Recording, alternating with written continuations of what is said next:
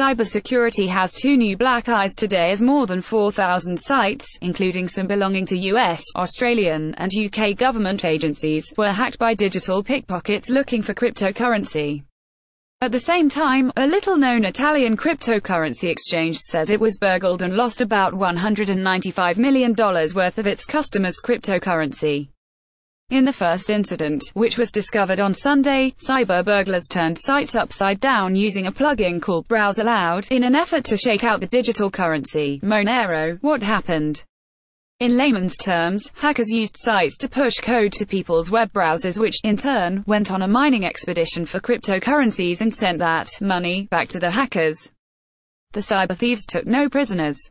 Among the sites hit were the U.S courts, the state of Indiana, the City University of New York, the Cook County, Chicago, Treasurer's Office, Avon Products Brazilian site, and a laundry list of UK, European, and Australian government, municipal, educational, and medical institutions. BrowseAloud is an internet assistive technology which helps people with sight, dyslexia, or literacy issues. It's a product of TextHelp, a UK-based company and a partner with Microsoft, Google, Apple, HP, Adobe, and others in developing language tools.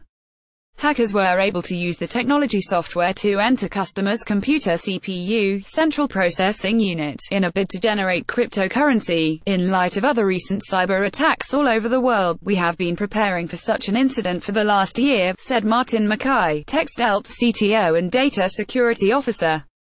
Our data security action plan was action straight away and was effective. The risk was mitigated for all customers within a period of four hours. Although the breach only lasted four hours, TextHelp has temporarily disabled the service until February 13, 2018 as a precaution. The company stresses that hackers were not able to extort money from its customers. Information security consultant Scott Helme, who discovered the hack, called the scheme a very lucrative proposal, and pointed out that the domino effect could have been huge. They infect one website and it infects close to 5,000. They could have extracted personal data, stolen information or installed malware. It was only limited by the hackers' imaginations, he told the BBC. Cryptocurrency exchange also takes a $195 million hit in late January. A Japanese exchange said it was missing close to $400 million of NEM currency. Now, in a separate incident, an Italian cryptocurrency exchange called BitGrail specializing in a digital currency called Nano, previously known as RaiBlocks, claims they were raided for $195 million late last week.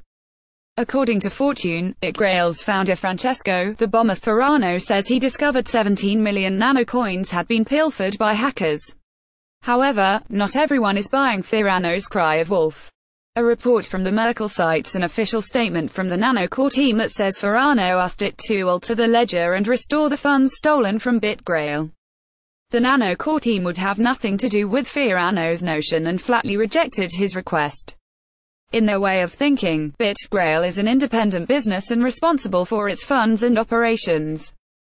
The group even went so far to say they believe Firano has been misleading them and the cryptocurrency community regarding the solvency of the BitGrail exchange for a significant period of time. The Merkle had already raised suspicions that BitGrail was angling towards an exit scam, and the price of Nano dropped by 20% on a news.